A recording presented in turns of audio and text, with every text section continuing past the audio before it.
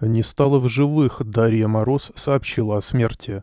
Спасла ее от аварии, а сама погибла. Дарья Мороз трогательно вспомнила о матери в 23-ю годовщину ее смерти. Актрисе было всего 16 лет, когда ее знаменитая родительница не стала в живых. Актриса Дарья Мороз, прославившаяся по сериалу «Содержанки», обнародовала архивные снимки своей мамы Марины Левтовой и трогательно обратилась к ней. Заслуженная артистка России, жена знаменитого режиссера Юрия Мороза, скончалась в 2000 году в аварии, спасая от гибели свою дочь. Из-за этого Дарья до сих пор не может смириться со смертью родительницы. На 23-я годовщина со дня кончины стало лишь очередным поводом вспомнить о ней. 23 года как мамы нет, еще год, и я начну становиться старше, чем она, когда ее не стало. А помню я ее именно такой, радостной, бесконечно любящей папу и меня, и совершенно естественно становившейся центром любой компании. Она была магнит, и ее все любили, а она точно знала, что нет ничего дороже семьи и близких, Ничего вообще, трогательно написала Дарья в личном блоге. На кадрах счастливая Марина запечатлена в объятиях своего мужа, Юрия Мороза. На заднем фоне виднеется украшенная игрушками ель, что свидетельствует о том, что фото было сделано в преддверии новогодних праздников.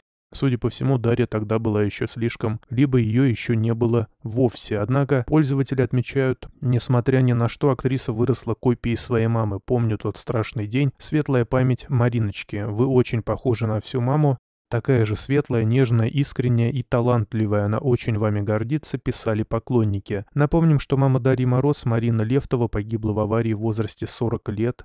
Страшная трагедия произошла во время катания на снегоходе актрисы, и на тот момент ее 16-летняя дочь отдыхали в загородном доме вместе с актерами Дмитрием Певцовым, Ольгой Дроздовой и предпринимателем Михаилом Рудяком. Юная Дарья очень хотела покататься на снегоходе, но мать не отпускала ее одну, поэтому для безопасности Левтова посадила наследницу посередине между собой и Рудяком, находившимся за рулем. Из-за плохой видимости мужчина не справился с управлением и улетел на большой скорости во враг. Дарья получила травмы, а Марина погибла на месте из-за сильного удара головой. Отметим, что на сегодня Мороз является востребованной актрисой, особенно после того, как на экраны вышла премьера «Содержанок». Немалую роль в ее карьере сыграл и бывший муж, режиссер Константин Богомолов, но не так давно Дарья появилась на публике с новым возлюбленным музыкантом Петром Дрангой. По словам очевидцев, весь вечер артисты обнимались, обменивались нежными взглядами и не отходили друг от друга.